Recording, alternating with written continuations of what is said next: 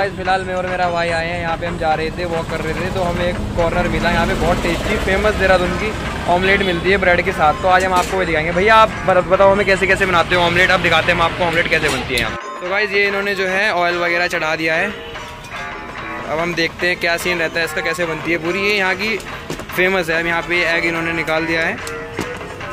काफ़ी हाइजीनिक है ये, यहाँ पे काफ़ी साफ़ सफ़ाई रखते हैं भैया। अब जो है ये अच्छे तरीके से इसमें सब कुछ मसाले वसाले प्याज व्याज। भैया क्या क्या डाल रहे हो बताओ हमको। प्याज है हरी मिर्च है नमक है। अच्छा अच्छा। और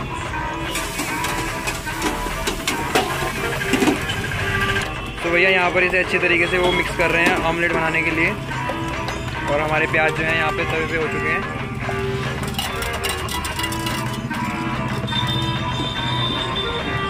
मतलब वो कर दिया अब यहाँ पे ब्रेड लेंगे।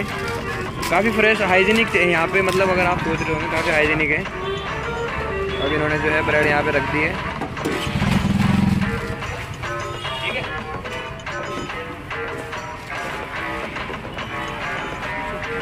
यहाँ पर अभी पूरी फ्राई जब हो जाएगी, उसके बाद ये हमें सर्व कर देंगे।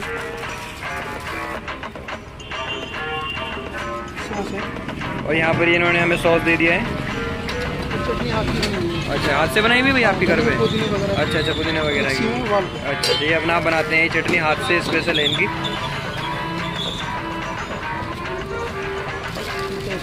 अभी हम पैक करा रहे हैं इसलिए भैया हमें पैक करके दे रहे हैं।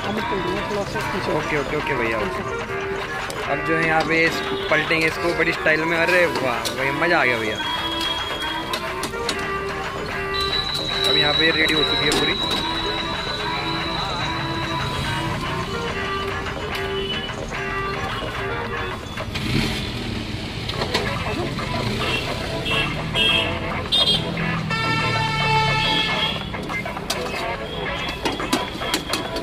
की पलटने की स्टाइल बड़ी अच्छी है। और वो उसमें चमच कर रहे ताकि वो पूरे तरीके से अच्छे अंदर तक पक जाए। उन्होंने चम्मच मार दिया उसमें अच्छे तरीके से। हो गया भैया पक गई पूरी? अच्छा अच्छा अभी एक और पलटी जाएगी।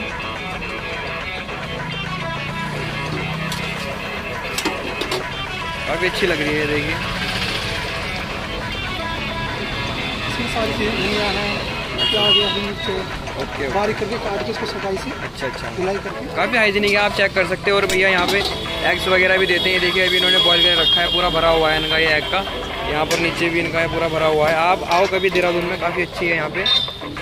और अब भैया हमें प्लेट में जो है सर्व कर देंगे हम पैक करा रहे हैं तो हमें पैक करके दे देंगे।